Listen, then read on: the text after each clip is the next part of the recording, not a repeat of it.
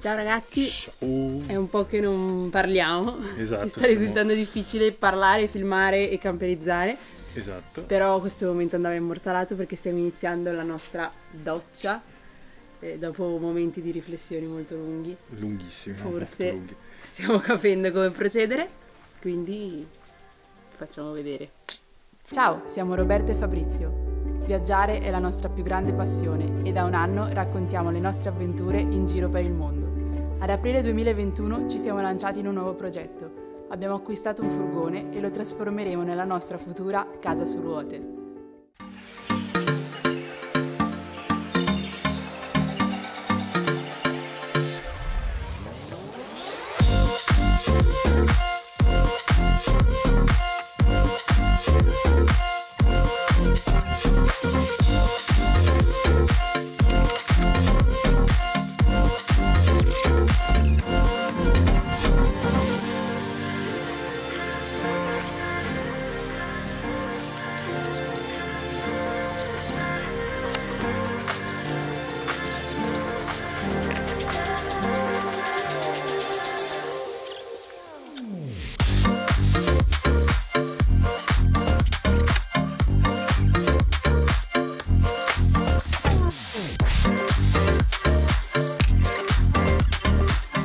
Piccola pausa alla creazione della doccia per sempre una parte della doccia. Mm. Ci spieghi? No, in verità questa qui è la casetta degli uccelli, perché vorremmo avere degli uccellini che entrano e escono dal bagno.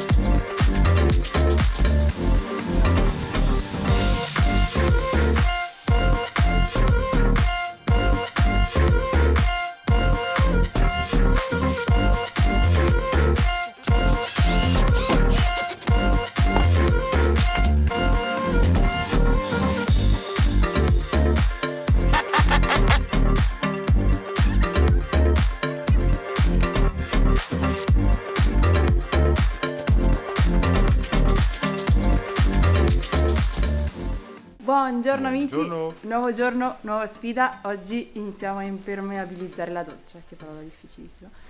Allora, avevamo comprato per rivestire la panca del- dell'acqua delle chiare, con la tanica dell'acqua delle chiare, questo impermeabilizzante che è molto meno caro della classica gomma liquida della Bostic.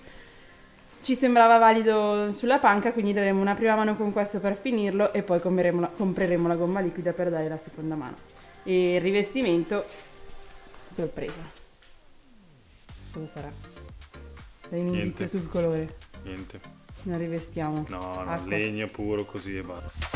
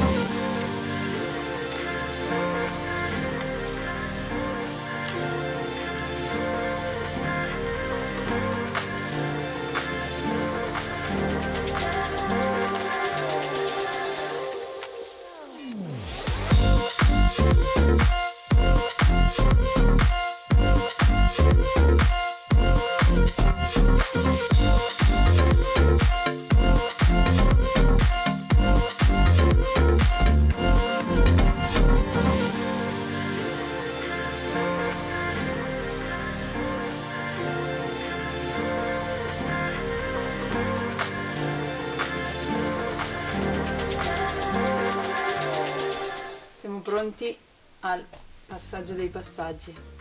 Mettiamo la gomma liquida intanto su questa parete e sul pavimento. Prima mano. Vediamo se abbiamo capito come, come funziona.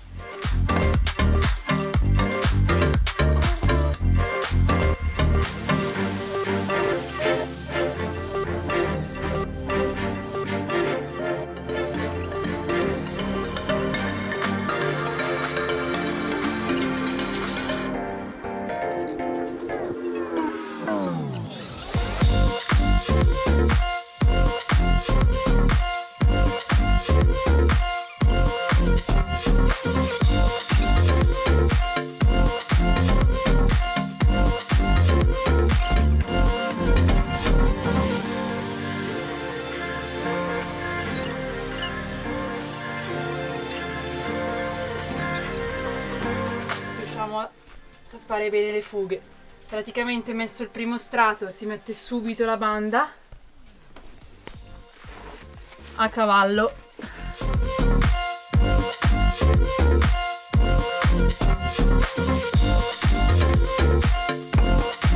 Ok, abbiamo messo la banda per coprire bene la giunzione tra due punti. Ora, prima si mette uno strato e poi la banda e sopra la banda si mette un altro strato per cercare di incollarla il più possibile.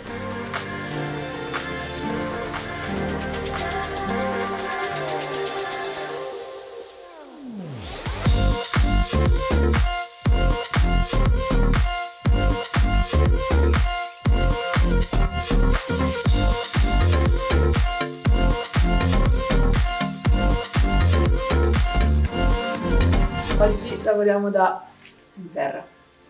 Cosa stiamo facendo? Abbiamo comprato la PVC da- per ricoprire la doccia a rotolo, perché a piastrella, come piaceva a noi, era un po' sconsigliato. E dobbiamo prendere le forme delle pareti. Fortunatamente abbiamo ancora le pareti esterne che non abbiamo attaccato, quindi stiamo riuscendo a sagomare questa forma impossibile grazie a quelle esterne, perché quelle interne sono già attaccate. Ora col taglierino tagliamo, poi incolleremo sperando che tenga. Tutto uno sperare.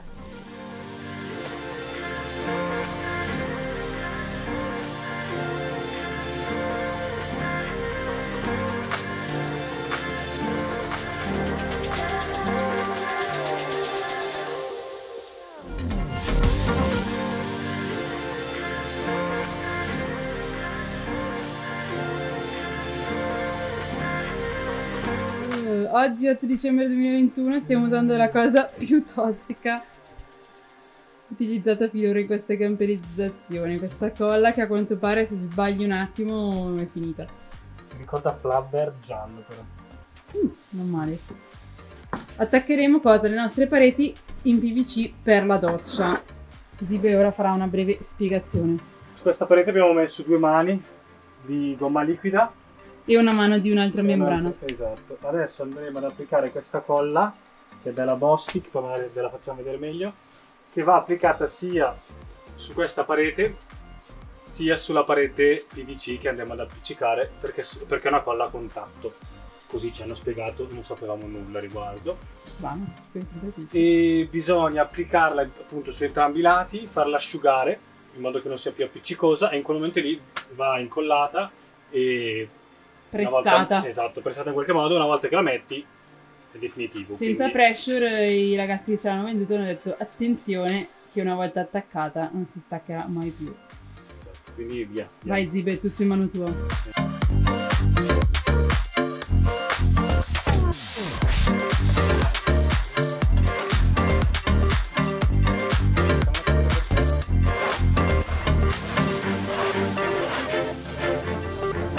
Raccontaci un po'. Allora, quello che vedete è una parte della base sul- sulla quale appoggerà il piatto doccia.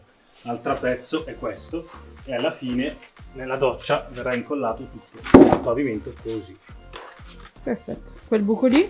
praticamente abbiamo dovuto alzarci di circa 13 cm dalla base, che non è poco, però tenete conto che comunque il piatto doccia qua è incavato, quindi non è che perdiamo chissà quanto in altezza. Abbiamo dovuto farlo perché per lo scarico della doccia non potevamo scendere sotto dove volevamo, cioè dove abbiamo nella doccia, quindi le opzioni erano due, o scavavamo il pavimento e portavamo lo scarico nella zona doccia dove c'è il lavandino, eh, nella zona Cucina. cucina dove c'è il lavandino in modo da avere uno scarico solo, oppure ci dovevamo alzare di un tot in modo da permettere allo scarico di far appoggiare bene il piatto doccia e comunque lo scarico andremo a farlo eh, insieme a quella del lavandino. Avremo un buco solo nella zona lavandino dove scenderà sia lo scarico del lavandino che quello della doccia. Infatti avremo una piletta 90, non la classica piletta che va dritta per dritta giù. Esatto, purtroppo sì, perché abbiamo scoperto che questo modello più recente del Ducato, Euro 6, esatto. l'Euro 6,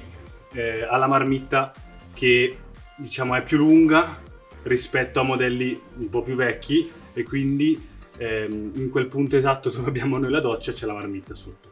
Quindi non- in qualsiasi modo non possiamo bucare sotto, quindi siamo costretti a...